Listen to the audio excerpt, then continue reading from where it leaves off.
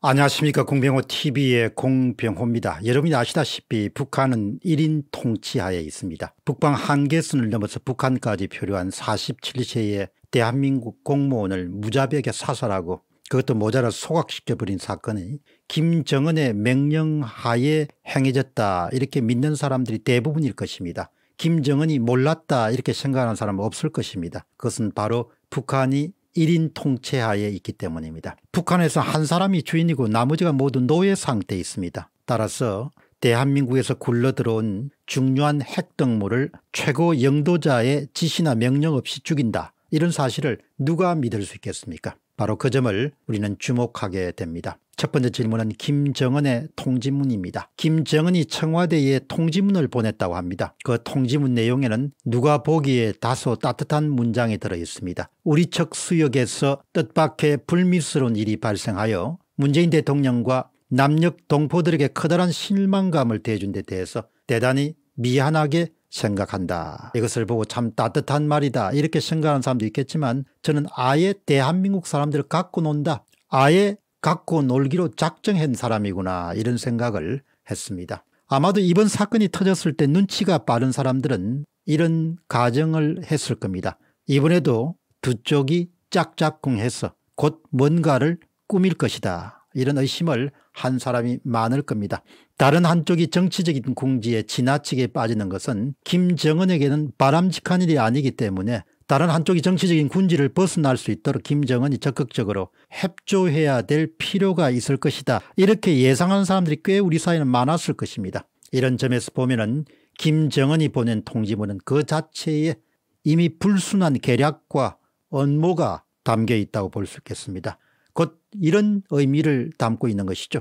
우리가 당신들의 공공한 상태를 벗어나도록 이번에 도왔기 때문에 다음에 우리에게 무엇을 줄 것인가를 생각해 보시오라고 그런 메시지로 이번 통지문을 이해하는 사람들도 많았을 것입니다. 그런데 통지문에는 의외의 사실이 들어있기 때문에 조금 더 깊숙이 들여다볼 필요가 있습니다. 통지문을 예리하게 읽을 수 있는 사람이라면 공무원 47세 이모 씨가 월북하지 않았다는 사실을 짐작하게 하는 대목이 상당히 등장하게 됩니다. 월북하지 않았다는 것입니다. 이것은 국방부의 발표나 해양경찰의 발표나 그리고 인천경찰서나 아니면 해양수산부의 발표와는 상당히 정면으로 배치됩니다. 통지문 내용에 이런 내용이 들어있습니다. 우리 측 해당 수역 경비 담당 군 분대가 어로 작업 중이던 수산사업소 부업성으로부터 정체불명 남자 1명을 발견했다는 신고를 받고 출동했습니다. 강령반도 앞 우리 측 연안에 부유물을 타고 불법 침입한 자에게 80m까지 접근해 신분 확인을 요구했지만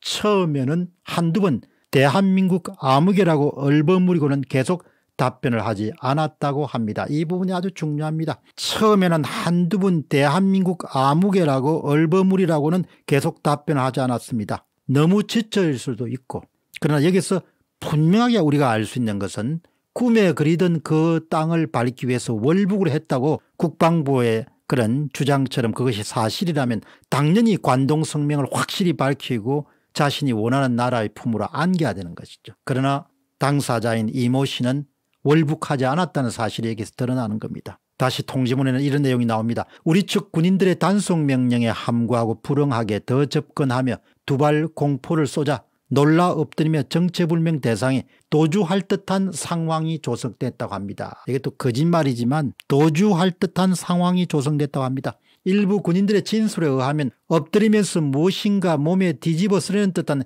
행동을 하는 것 같았다고 보입니다. 이것도 다 거짓말인 거죠. 우리 군인들은 정장의 결심 밑에 해상경계 근무 규정이 승인한 행동 준칙에 따라서 10여 발을 총탄으로 불법 침입자를 향해 사격했고 이때 거리는 40에서 50m였다고 합니다. 그러나 이것은 우리 군이 관측한 방치한 상태에서 몇 시간을 두다가 상부의 명령에 따라서 처리했다는 이야기가 결코 언급하지 않습니다. 다음은 우리가 알아야 할 일입니다. 한 시민은 이렇게 주장합니다. 월북이라고 떠들던 사람들은 반성하라. 월북이라고 떠들던 사람들은 반성하라. 또 다른 시민은 이렇게 주장합니다. 결국 문 씨와 김 씨가 서로 의논해서 한쪽은 월북으로 간주하고 또 다른 한쪽은 친입으로 간주해서 적당히 얼버무리고 모든 책임은 죽은 사람에게 덮어 씌워버리는 것이다. 한 시민은 또 이런 주장을 합니다. 무장한 군인도 아니고 아무런 저항 능력도 없는 자를 해상에서 뭔가 뒤집어 쓴다고 총을 쏴서 죽인다는 게 이유가 성립되는 일인가 이런 사과를 받고 말 것인가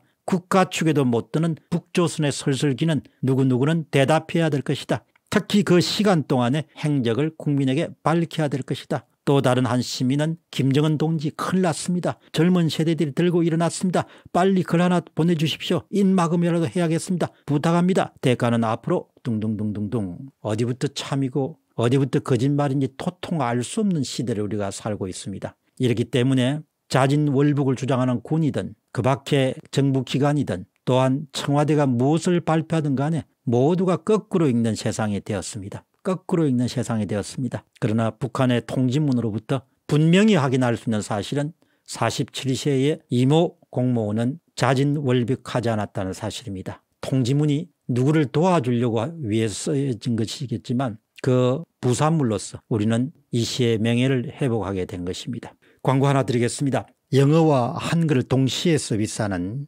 유튜브 채널 새로운 유튜브 채널인 공TV가 활동하기 시작했습니다. 여러분께서는 공병호 TV를 후원했던 것처럼 GONG 공TV도 적극적으로 응원해 주시기 바랍니다. 공병호 TV의 공병호였습니다. 감사합니다.